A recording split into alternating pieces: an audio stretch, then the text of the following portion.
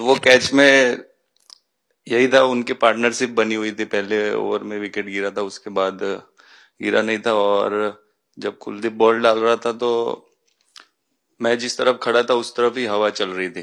तो मैं खड़ा था और उसने जब शॉट मारा तो मुझे लगा कि इजी कैच हो रहा है। बट वो हवा के साथ इतना तेज जाने लगा तो मैं पहले सोच रहा था मैं लेफ़्ट हैंड में पकड़ूँगा, लेकिन जब बॉल गया तो मतलब ये तो राइट हैंड पे जा रहा है। तो फिर जंप मैंने मारा उस टाइम पे और, जब हाथ में इतना ज़ोर से आवाज़ आया उस टाइम पे मुझे कि तब मुझे रियलाइज़ हुआ कि हाथ में पकड़ लिया है मैंने और I think most of the time दस में से नौ बार छूट जाती है ऐसे कैच बट लकी था कि वर्ल्ड कप में इस टाइम पे जब uh, टीम को ज़रूरत थी तब uh, वो कैच पकड़ लिया मैंने। तो अमूल का दूध काम कर रहा है।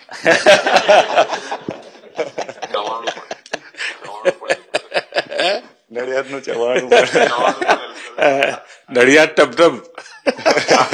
खाने की थोड़ी दिक्कत थी अक्सर को डोकला दिखा अच्छा। आपके पिताजी का एक स्टेटमेंट पूरे देश में बार बार चर्चा हो रही है।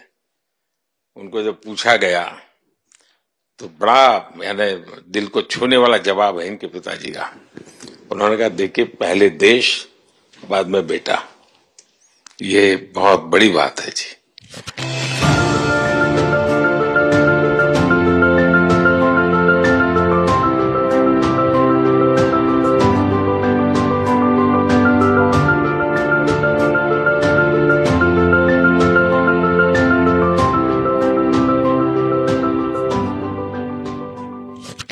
हार्दिक बताइए।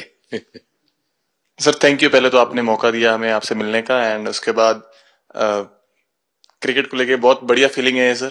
अ, बहुत अच्छा लग रहा है कि ये टूर्नामेंट हम जीते हैं एंड बॉलिंग में मैंने पहले भी जैसे बताया कि बहुत अच्छा लगता है जब जस्सी भाई साइड से बॉल डालते हैं तो बहुत ज़्यादा प्रेशर बना के रखते हैं बैट्समैन पे और बैट्समैन मेरे को ट्राई करते हैं तो मेरे को विकेट्स मिलते हैं काफ़ी सारे और बाकी भी बॉलर्स ने बहुत अच्छे से गेंदबाजी की है तो मैं कहूँगा उसका फल मेरे को मिलता रहा।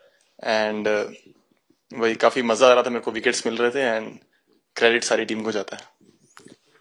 अक्सर जब स्कूल में खेलता था तब एक बार मुझे शायद उसको प्राइज देने का मौका मिला था। एट स्टैंडर्ड में। हाँ, मेरा खुद तो खेल की दुनिया से रहा नहीं लेकिन मैं खेल जगत में कुछ भी अगर हलचल होती है तो मेरा मन उनके साथ लग जाता है।